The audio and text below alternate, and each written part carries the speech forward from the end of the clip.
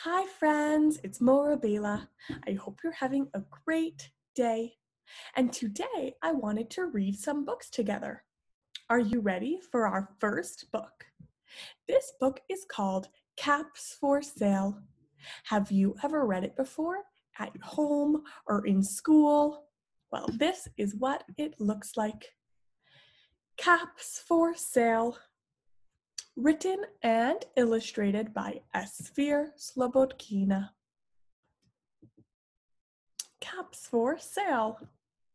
And it says the title again, Caps for Sale. And here's the peddler with all of his caps. Once there was a peddler who sold caps. But he was not like an ordinary peddler carrying his wares on his back. He carried them on top of his head. First, he had on his own checked cap, then a bunch of gray caps, then a bunch of brown caps, then a bunch of blue caps, and on the very top, a bunch of red caps. He walked up and down the streets, holding himself very straight so as not to upset his caps. As he went along, he called, Caps, caps for sale, 50 cents a cap. One morning, he couldn't sell any caps. He walked up the street and he walked down the street calling, Caps, caps for sale, 50 cents a cap. But nobody wanted any caps that morning. Nobody wanted even a red cap. He began to feel very hungry, but he had no money for lunch. I think I'll go for a walk in the country, said he. And he walked out of town, slowly, slowly, so as not to upset his caps. He walked for a long time until he came to a great big tree. That's a nice place for a rest, thought he. And he sat down very slowly under the tree and leaned back little by little against the tree trunk so as not to disturb the caps on his head. Then he put up his hand to feel if they were straight. First his own checked cap, then the gray cap, then then the brown caps, then the blue caps, then the red caps on the very top. They were all there, so he went to sleep. He slept for a long time. When he woke up, ah, he was refreshed and rested. But before standing up, he felt with his hand to make sure his caps were in the right place.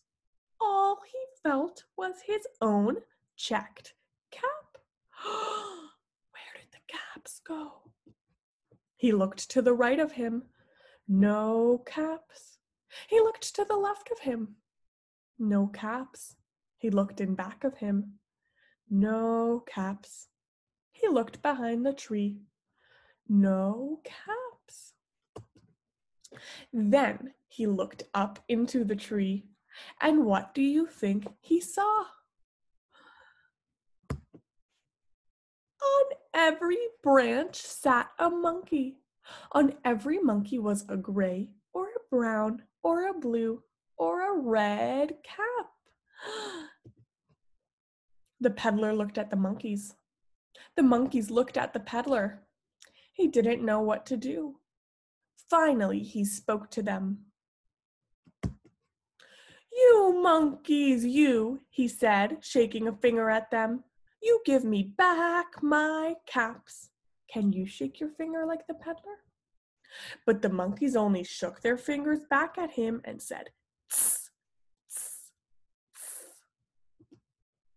This made the peddler angry, so he shook both hands at them and said, You monkeys, you, you give me back my caps.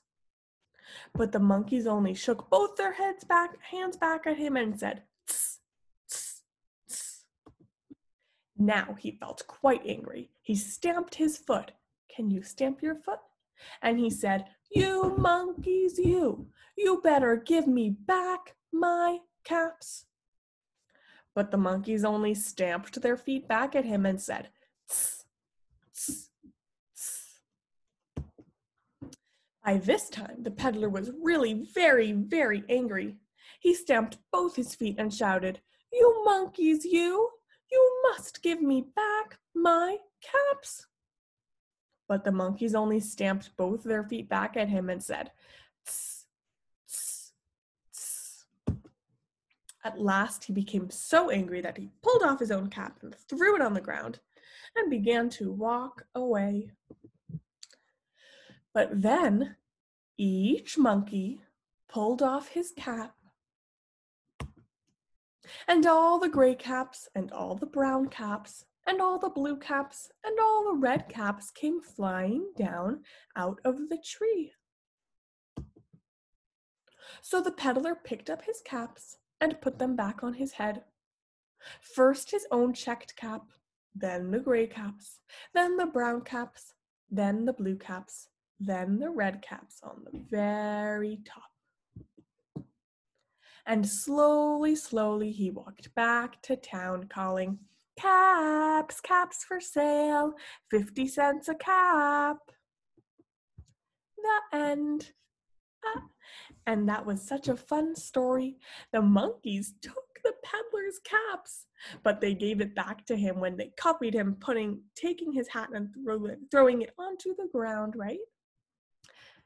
Are you ready for our second book? Book number one was Caps for Sale. Book number two is another story about Pete the cat. Last week we read a book in, about Pete the cat becoming a fireman. Today we're going to read a book about Pete the cat going to bed at a sleepover party. Are you ready? Pete the cat and the bedtime blues. Pete the Cat and the Bedtime Blues. And this book was written by Kimberly and James Dean.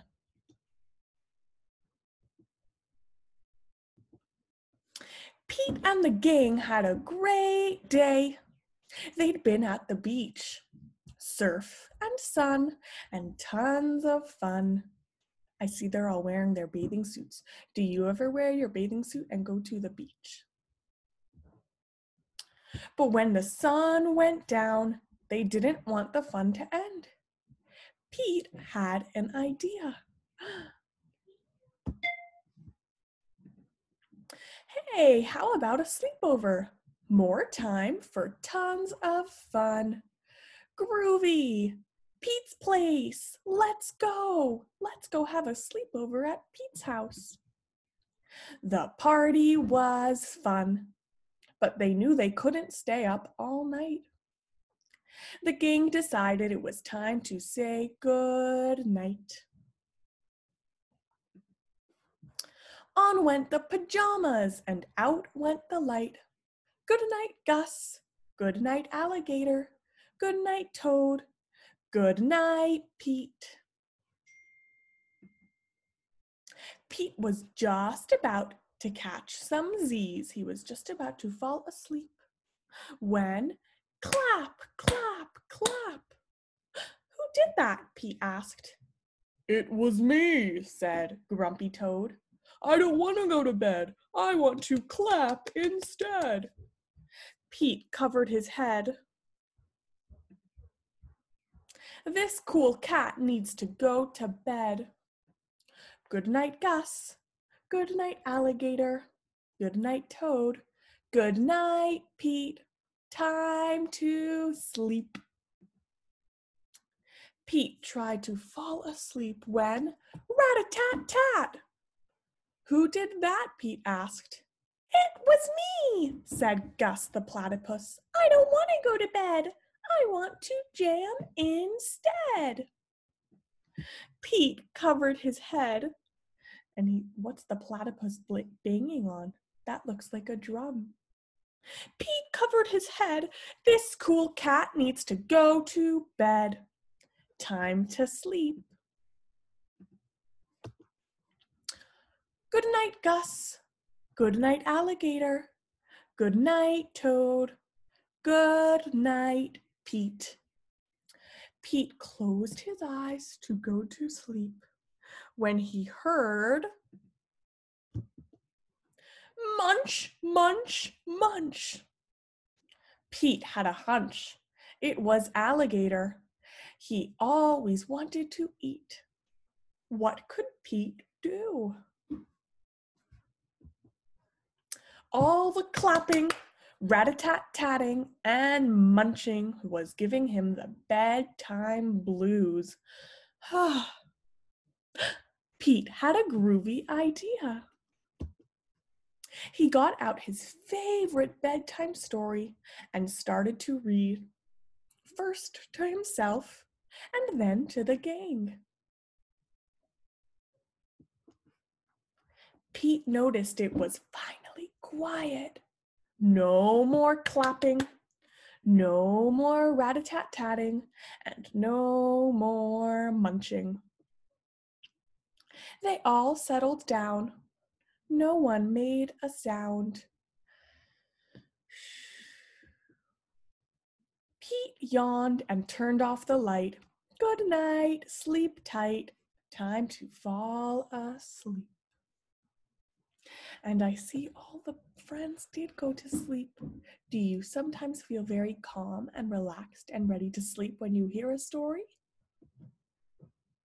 Tomorrow was another day for surfing, sun, and tons of fun. And that's what it looks like they're dreaming about that as they're sleeping. What do you dream about sometimes? The end. Hooray! Thank you, friends, for joining me when I read Caps for Sale and then when I read about Pete the Cat and his bedtime blues. And he came up with such a good solution. The problem was they wanted to stay awake, and the solution was reading a book, just like we're do we did right now. I love reading books. They make me feel calm and happy. Goodbye, friends. Thank you for joining. I'll see you again soon. Have a wonderful day.